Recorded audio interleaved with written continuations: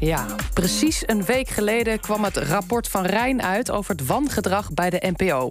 En afgelopen week werd uitgebreid stilgestaan bij de slachtoffers.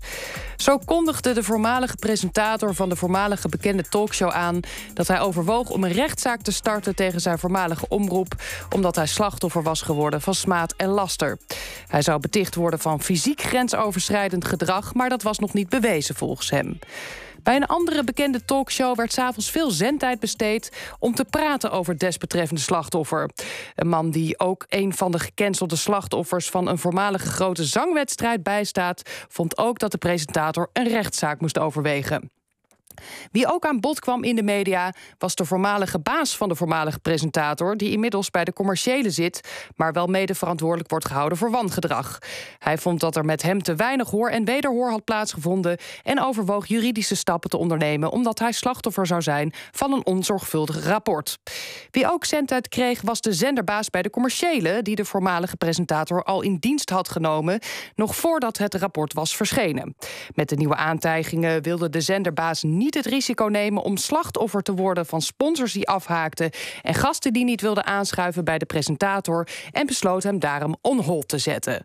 Ook was er een bekende programmamaker die een hele documentaire besteed had aan grensoverschrijdend gedrag. Hij werd echter zelf ook slachtoffer van grensoverschrijdend gedrag tijdens zijn eigen programma.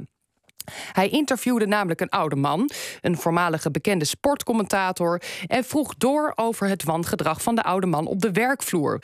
De oude man kon zich hier echter niks van herinneren en ook zijn vrouw niet, en dus waren ze slachtoffer geworden van aantijgingen waar ze geen actieve herinneringen aan hadden.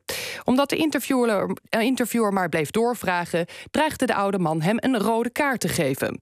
Inmiddels stond de media ook weer vol met berichten over ander grensoverschrijdend gedrag. De man die verantwoordelijk is voor alle programma's bij de publieke omroep, wordt ook beschuldigd van grensoverschrijdend gedrag, maar gaat wel meewerken aan een onderzoek. Om dat onderzoek niet het slachtoffer te laten worden van nog meer ruis op de werkvloer, heeft hij zichzelf op non-actief gezet. Wie ook in het nieuws kwam, was een mogelijk nieuw slachtoffer van canceling. De beroemde cabaretier die sinds dit jaar het bekende zomerinterviewprogramma presenteert bij de publieke omroep, wordt door een bekend roddelblad beticht van grensoverschrijdend gedrag binnen de privésfeer. Tot nu toe worden de aantijgingen ontkend en moeten we zien hoe dit afloopt. Wie sowieso vindt dat alle mannen slachtoffer worden van rancuneuze wijven, is een man met een snor die vijf avonden per week ruimschoots de tijd krijgt om zijn mening te geven bij de commerciële.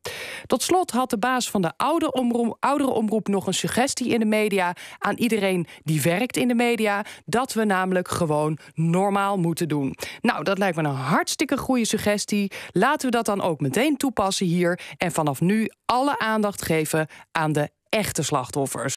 Mis niks van het laatste nieuws met de NPO Radio 1-app. Download hem nu.